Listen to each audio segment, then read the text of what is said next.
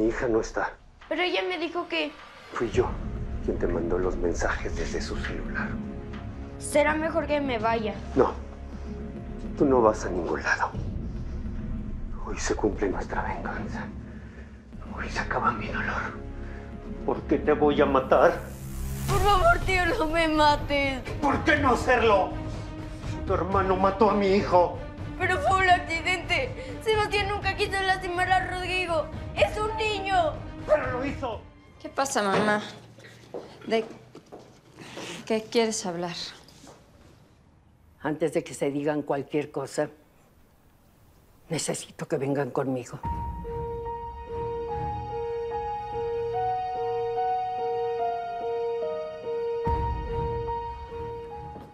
¿Qué quieres que veamos en el que era nuestro cuarto? ¿Qué es esto, mamá?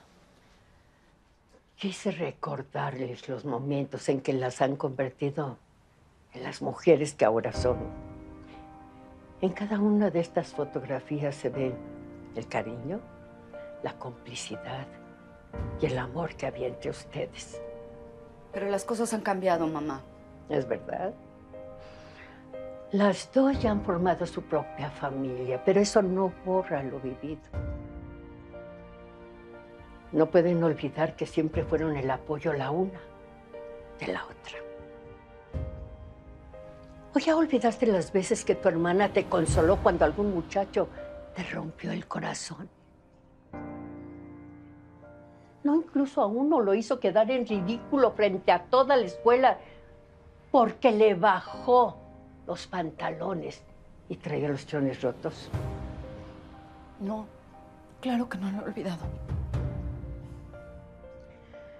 Y lo hizo porque no iba a permitir que nadie lastimara a su hermana. ¿Y tú? ¿Ya olvidaste las veces que tu hermana me ayudó a cuidarte porque, porque sufrías de cólicos muy fuertes? Ella se dormía a tu lado por si necesitabas algo. Nunca lo podré olvidar. Entonces, ¿por qué se tratan como enemigas? Y no me digas que es por la muerte de Rodrigo, porque aunque no lo aceptes, fue un accidente. Ponte a pensar si las cosas hubieran sido al revés. En lugar de que Sebastián disparara esa arma, hubiera sido Rodrigo. No quisieras que tu hermana te perdonara a pesar de su dolor. Sí. La verdad, sí. Tú piensas que no me duele que mi sobrino haya fallecido, pero no es verdad. Todos los días lo lamento. Y reconozco que Álvaro tiene responsabilidad por haber dejado una pistola cargada, pero dime, ¿qué puedo hacer? ¿Por qué nunca me demostraste que te dolía lo que le pasó a mi hijo? ¡Nunca! Porque no me diste la oportunidad de hacerlo. En cuanto llegamos al velorio nos agrediste. Porque tenía ganas de que todo se terminara. Tenía ganas de desaparecer, de que todo fuera una pesadilla y que Rodrigo no hubiera muerto. Sí, es cierto. Nunca más voy a volver a mi hijo. Nunca más voy a escuchar que me diga mamá. Jamás voy a sentir sus brazos porque no está aquí. No está aquí mi bebé. Perdóname. Perdóname, hermanita, perdóname. Te juro que daría lo que fuera por no verte sufrir así. Cada una de tus lágrimas me rasga el corazón. Te suplico que nos perdones. Perdónanos, por favor. Perdóname, por favor.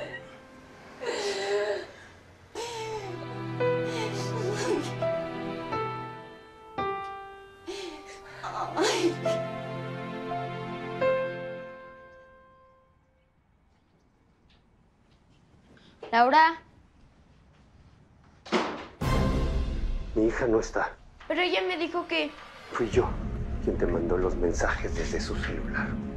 será mejor que me vaya. No, tú no vas a ningún lado. Hoy se cumple nuestra venganza. Hoy se acaba mi dolor. ¿Por qué te voy a matar? Por favor, tío, no me mates. ¿Por qué no hacerlo? Tu hermano mató a mi hijo. Pero fue un accidente. Sebastián nunca quiso lastimar a Rodrigo. Es un niño. Pero lo hizo. Todo su arrepentimiento será suficiente para calmar nuestro dolor. Solo con tu muerte podré estar tranquilo. Papá, ¿qué haces? Vete. Si no quieres ver que lo mate, Pues si lo quieres matar, me vas a tener que matar a mí. quítate. No, papá, no me voy a quitar. Así que si quieres disparar, hazlo. Y también mátame a mí. Puedo. No puedo. No puedo.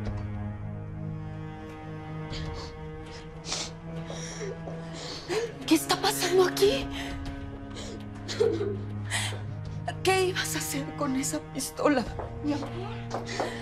Quise vengar nuestro dolor, pero no pude.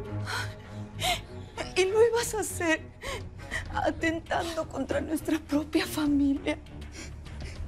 Como ellos lo hicieron con Rodrigo, nuestro pequeño. Qué equivocados hemos estado, Rubén. De verdad, mi amor. Necesitamos buscar ayuda. No podemos seguir cargando con este dolor. Sí. Ayúdame. Te suplico que me ayudes. Ya no puedo más. Ya no puedo más.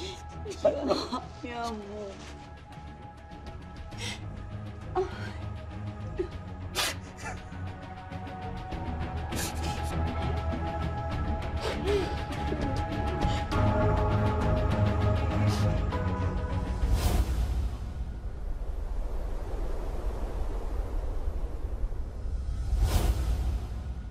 Les queremos agradecer que no me hayan denunciado por haber tenido la intención de dispararle a Jonás. No podríamos hacerlo. Si queremos recuperar la familia que éramos, ante todo debe de haber comprensión. Es verdad, porque pues ahora entiendo que esta tragedia pudiera haberse evitado si no hubiera sido tan descuidado. Ha sido algo muy difícil de asimilar, pero en la terapia nos han hecho ver que los accidentes pasan. Todavía tenemos mucho que aceptar, pero si queremos superar la muerte de Rodrigo, tenemos que sacar todos esos sentimientos negativos que llenan nuestro corazón. Entonces, ¿nos perdonan? Claro que sí. De la misma manera que les pedimos que nos perdonen ustedes. Sí.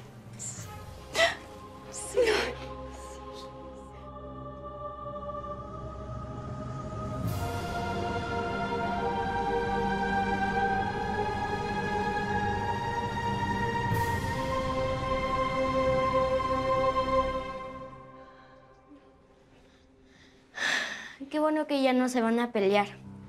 Y que volveremos a ser la familia de antes. Entonces, ¿ya no va a haber problema de que juegue con Jonás? Claro que no, hija. Al contrario, nos da justo que siempre se han llevado bien, porque han sido un gran ejemplo para nosotros. ¿Me perdonas? Sí. Sí, padrino. Y tú, Sebastián, mi amor, ya no nos tengas miedo, ¿m? Porque a partir de ahora te vamos a dar el mismo amor que te dábamos antes. Por fin pasó esta tormenta. Ya no vamos a estar envueltos en la oscuridad y en los rencores. Porque nuestro corazón ya quedó limpio, como debe de ser. Porque en un corazón limpio es donde nace el perdón.